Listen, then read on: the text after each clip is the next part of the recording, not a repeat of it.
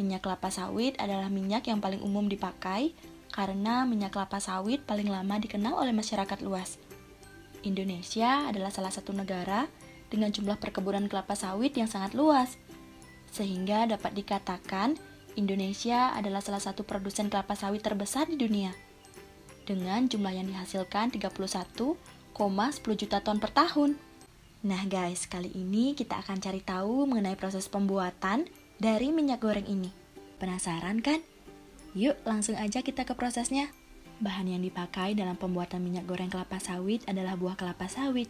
Buah kelapa sawit mengandung minyak, sehingga harus diperas untuk menghasilkan minyak utuh yang jernih.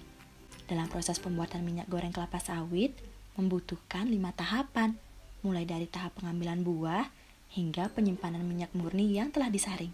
Kita mulai dari tahap yang pertama ya guys, yaitu pengumpulan buah kelapa sawit. Pada tahap ini, kelapa sawit yang telah matang dipetik dari pohonnya.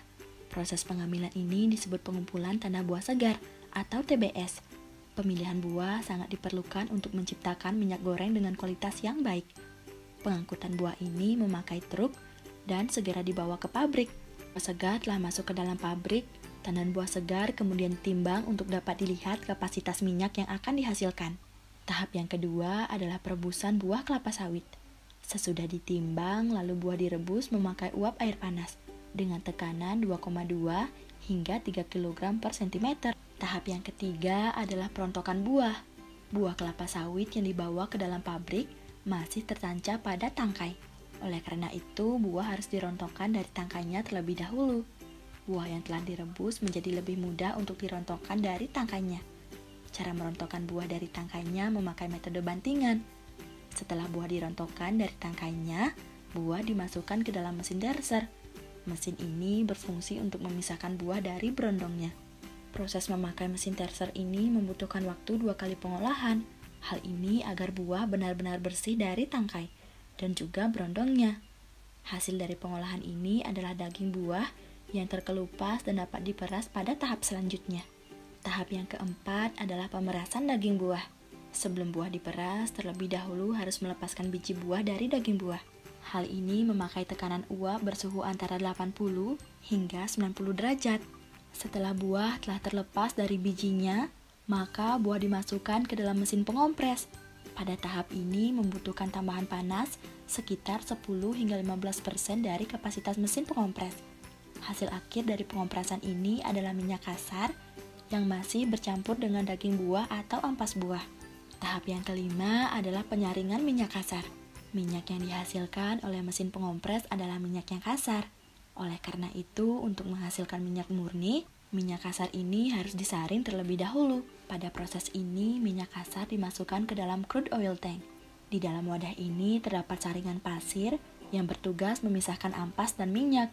Ampas yang terkumpul pada saringan akan diolah lagi karena masih mengandung minyak. Pada proses ini membutuhkan bantuan air panas untuk memudahkan pengolahan ampas menjadi minyak. Pada proses ini karena memakai bantuan air, maka hasil yang keluar adalah air yang bercampur dengan minyak. Tahap yang keenam adalah pemisahan minyak dengan air. Pada proses ini, minyak yang telah tercampur dengan air harus dipisahkan. Proses pemisahan ini harus urut dan sesuai dengan kadar minyak yang ada. Selain itu, harus sesuai dengan fase-fase minyak tersebut. Pada fase ringan, kandungannya adalah minyak, air, dan masa jenis minyak ditampung pada continuous setting tank. Lalu, kandungan minyaknya akan dibawa ke oil tank. Sedangkan fase berat berisi minyak, air, dan masa berat ditampung pada sludge tank. Lalu dibawa ke sludge separator untuk dipisah minyak dan airnya. Hasil akhir pada kedua proses ini adalah minyak yang kemudian akan dimurnikan. Tahap yang terakhir adalah pemurnian minyak. Minyak yang telah terpisah dengan air tidak 100% benar-benar terpisah dengan air. Hal ini membutuhkan proses pemurnian untuk benar-benar menghilangkan air di dalam minyak. Untuk dapat memurnikan minyak, minyak dibawa ke dalam vacuum dryer. Fungsi dari mesin ini adalah untuk membuang air yang terkandung di dalam minyak hingga nilai minimal atau di bawah ambang batas. Setelah melewati proses vacuum dryer, Minyak yang telah menjadi minyak murni dimasukkan ke dalam tangki penyimpanan minyak untuk dibawa ke bagian pengemasan. Nah, sampai di sini dulu ya guys video kita kali ini. Bye.